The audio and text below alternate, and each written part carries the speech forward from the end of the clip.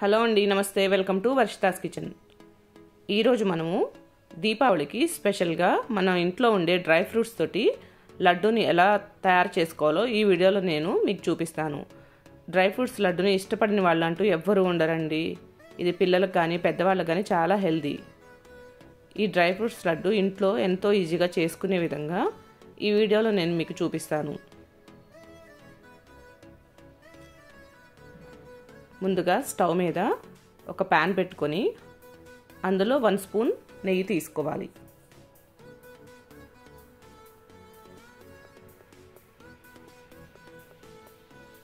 నెయ్యి వేడైన తర్వాత ఇందులో వన్ కప్ బాదం పలుకుల్ని వేశాను. బాదాన్ని నేను ముందుగానే కట్ చేసి పక్కన ఉంచుకున్నానండి. వాటిని వేశాను. బాదం కొంచెం గట్టిగా ఉంటుంది కాబట్టి ఫస్ట్ బాదం వేయించుకోవాలి. అది ఒక రెండు నిమిషాల పాటు వేయించుకున్న తర్వాత వన్ కప్పు జీడిపప్పులను కూడా కట్ చేసుకొని పక్కన ఉంచాను వన్ కప్ జీడిపప్పును కూడా వేసుకోవాలి. స్టవ్ సిమ్లో పెట్టుకొని వీటన్నిటిని మెల్లగా ఫ్రై చేసుకోవాలి. తర్వాత నా దగ్గర సన్ఫ్లవర్ సీడ్స్ ఉన్నాయండి. వాటిని కూడా ఒక హాఫ్ కప్ వరకు వేశాను. తర్వాత నేను ఒక హాఫ్ కప్పు పిస్తా పప్పులను కూడా వేశాను.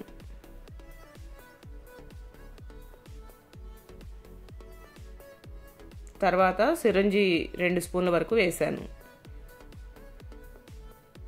తర్వాత నేను ఎండు కొబ్బరిని తురిమి పక్కన ఉంచుకున్నాను హాఫ్ కప్ వరకు ఎండు కొబ్బరిని కూడా తురిమిన ఎండు కొబ్బరిని కూడా వేసుకొని వీటన్నిటిని మెల్లగా సిమ్లో పెట్టుకొని ఫ్రై చేసుకోవాలి.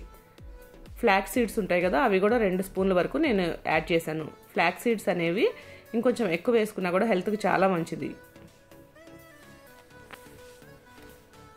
తర్వాత నేను రెండు స్పూన్ల వరకు గసగసాలను కూడా యాడ్ చేశాను. వీటన్నిటిని బాగా కలుపుకుంటూ సిమ్లో పెట్టుకొని దూరగా వేయించుకోవాలి.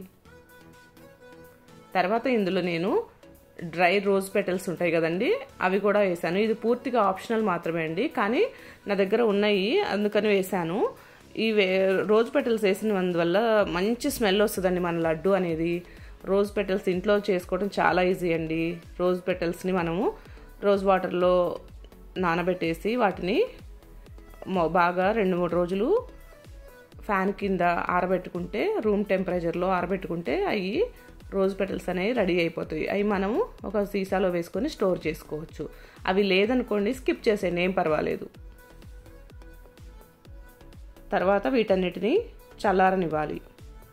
అదే కడాయిలో నేను వన్ స్పూన్ నెయ్యిని వేసుకున్నాను.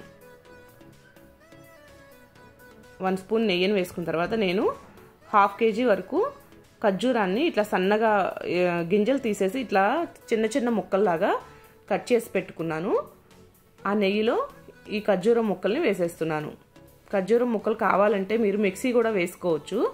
మరి పేస్ట్ లాగా అయిపోతుందండి. కావాలంటే వేసుకోవచ్చు ఏం పర్వాలేదు. నేను మాత్రం ఒక ఐదు నుంచి పది నిమిషాలు ఇలా కలుపుకుంటూ అడుగంటకుండా కలుపుకుంటూ వీటిని ఫ్రై చేసుకున్నాను. ఇలా దీ ఫ్రై చేసుకోవటం వల్ల ఇది దీనిలో ఉన్న మాయిశ్చరైజర్ని రిలీజ్ చేస్తుందండి. కొంచెం సాఫ్ట్గా అవుతుంది ఖర్జూరం అనేది.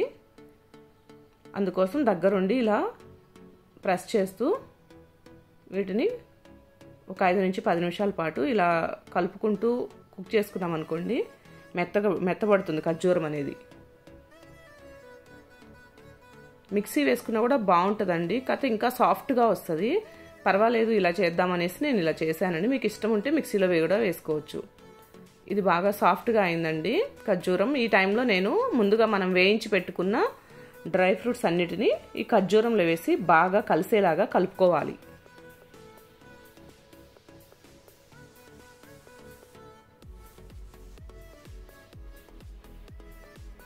స్టవ్ ఆఫ్ చేసి దీన్ని కొంచెం చల్లారనివ్వాలండి. ఇది కాలుతూ ఉంది బాగా.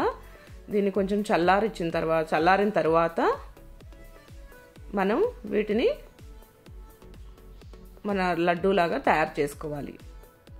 కాలుతుందండి చూసుకొని మనం కొంచెం చల్లారిన తర్వాత గోరువెచ్చగా ఉన్నప్పుడు చేతులకి మనం నెయ్యి రాసుకొని చేతులకి విధంగా నెయ్యి రాసుకొని మనం లడ్డూల్ని తయారు చేసుకోవాలి. నేను ఈ గిన్నె సహాయంతో అన్నీ ఒకటే షేప్ వచ్చేలాగా లడ్డూల్ని తయారు చేసుకుంటున్నాను.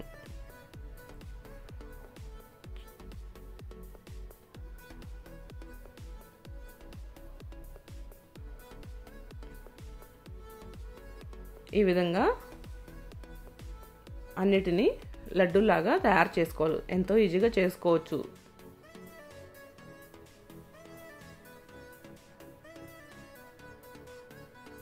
ఇది కొంచెం గోరువెచ్చగా ఉన్నప్పుడు చేసుకుంటే షేప్ అనేది చక్కగా వస్తుంది. చూసారా? ఎంతో సింపుల్గా డ్రై ఫ్రూట్స్ లడ్డూని ఇంట్లో ఎంతో ఈజీగా చేసుకునే విధంగా ఈ వీడియోలో నేను మీకు చూపించాను.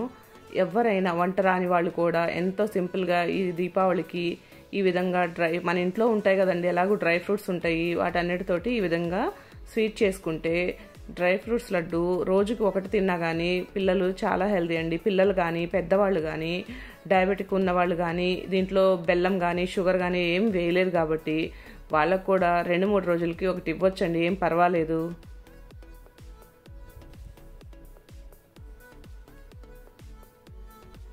స్వీట్ షాప్స్లో తెచ్చుకుంటాం కదండి.